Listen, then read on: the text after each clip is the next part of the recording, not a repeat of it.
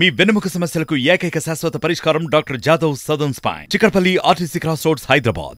Chandrababu గారి మీద పెట్టిన అక్రమ కేసులు తొలగించాలని ఈ తప్పుడు ఆరోపణలు ఖండిస్తూ ఇవాళ రాజమహేంద్రం రూరల్లో సంబంధించి సరస్సు ఈ గౌతమి ఘాట్లో జలదీక్ష చేయడం జరిగింది.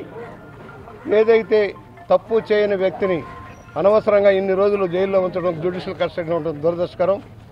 ప్రపంచ చరిత్రలో ఎక్కడా కూడా నేరం పది అని ప- చెప్పకుండా సాక్ష్యాధారాలు లేకుండా జైల్లో ఉంచిన సంఘటనలు చాలా అరుదుగా జరుగుతాయి.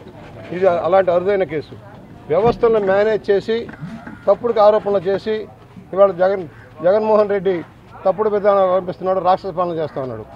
ఇవాళ ప్రశాంతంగా రాజ్యాంగం కల్పించిన హక్కులు అరిస్తూ ఉన్నాడు. వన్ ఫార్టీ ఫోర్ సెక్షన్ అంటాడు హౌస్ అరెస్టులు అంటాడు thirty section thirty three section అంటాడు. ఇష్టారాజ్యంగా పౌర హక్కులు అణచివేస్తా ఉన్నాడు. మేము ఒకటే చెబుతున్నాం ఏదో ఒక రోజున నీకు పనిష్మెంట్ తప్పదు. నలభై రెండు వేల కోట్లు దోచుకున్న వ్యక్తివి ముప్పై రెండు కేసుల్లో దోషిగా నిలబడ్డవాడివి. నువ్వు ఏమీ నేరం చేయని కనీస ప్రాథమిక సాక్ష్యాలు లేని విషయంలో తీసుకొచ్చి అనవసరంగా జైల్లో కూర్చోబెట్టావు. నీ కర్మ కాలుతోంది నీవు దీనివల్ల ప్రజలు ఒక్కసారి ఉవ్వెత్తున కలిసి ప్రపంచవ్యాప్తంగా చంద్రబాబు గారు మద్దతు చెబుతున్నారు. ఆయన తీసుకున్న నిర్ణయాల్లో తప్పు లేదు. ప్రజల కోసం రాష్ట్రం కోసం బిడ్డల భవిష్యత్తు కోసం తీసుకున్న నిర్ణయాలు తప్పు లేదు తప్పు జరగలేదని ఏకదాటిగా చెబుతున్నా. ఏదో కోడిగుడ్డుకు ఏకల బిగుదామన్న చందంలో ఎన్నాళ్ళు జైల్లో ఉంచుదాం అంటున్నావు అయ్యేది కాదు వారం పది రోజులు ఉంచుతాం అంతకంటే నువ్వు పీకేది ఏమీ లేదు. మేము ఒకటే చెబుతున్నాం. అనేక దాదాపుగా లక్షల మందికి ఉపాధి కల్పించిన మహానుభావుడు ఇరవై ఐదు లక్షల మంది ఇవాళ ప్రపంచవ్యాప్తంగా కంప్యూటర్ రంగంలో ఉద్యోగాలు చేస్తున్నాడు. చంద్రబాబు గారు చేసిన భిక్షని వాళ్ళంతా చెప్తుంటే ఇంకా సిగ్గులేని ముఖ్యమంత్రి ఏం చేసావని ఒక ఉద్యోగం ఇచ్చావా? ఒక ఉపాధి కల్పించావా ఒక పరిశ్రమ తెప్పించావా? ఐదేళ్ళలో నాలుగున్నర సంవత్సరాల్లో పది లక్షల కోట్లు అప్పు చేసి రాష్ట్రాన్ని అప్పుల సుడిగుండంలో నెట్టావు. పరిపాలన చేతగాని దద్దమ్మలాగా మిగిలిపోయావు. ఇవాళ ఎన్ని వేల కేసులు ఇవాళ దేశం కోడై కూస్తుంది. ఇక్కడ పెట్టినన్ని తప్పుడు కేసులు ఎక్కడా పెట్టలేదని. ఎస్సీ అటాచ్ కేసులు కానీ లేక హత్యానేరాలు మోపడం కానీ ఎక్కడ జరగనని ప్రతి ప్రతిపక్ష నాయకుల మీద పెట్టడం మనం చూస్తూ ఉన్నాం. ఇవాళ నేరాలు జరిగితే నేరాలు అదుపు చేయడంలో ఫెయిల్యూర్ అయిపోతున్నారు పోలీస్ యంత్రాంగం.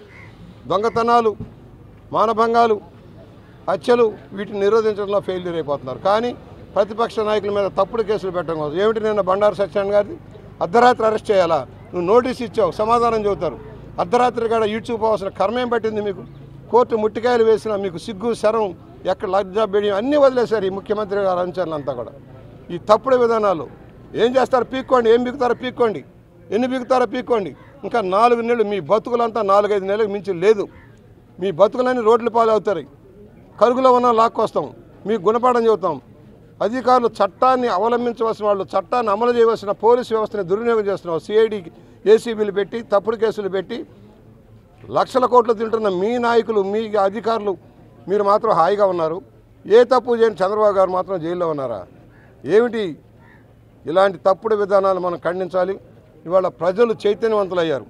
సైలెంట్గా ఉన్నారనుకుంటున్నారు. It is a silent wave Praja Vedika కింద ప్రజలంతా ఏకమవుతూ ఉన్నారు. నోరు తెరిచి మాట్లాడటంలా మౌనంగా ఆరోధిస్తూ ఉన్నారు. మీకు గుణపాఠం చెప్పాలని మీకు తద్దినాలు పెట్టాలని మీకు శవజాగరణ చేయాలని ఆలోచనలో ప్రజలు ఉన్నారు మర్చిపోవకండి ఎందరో కాలగర్భంలో కలిసిపోయారు. మంచి మంచిగా మిగిలిపోయింది. చెడు చెడుగానే కాలగర్భంలో కలిసిపోద్ది. అందుకనే ఈ పాపాత్మల పాపాలు కడుగమ్మ గోదావరి తల్లి ఈ పాపాత్మలు క్షమించమ్మా అని చెప్పడం కోసం ఇవాళ జలదీక్ష చేసాం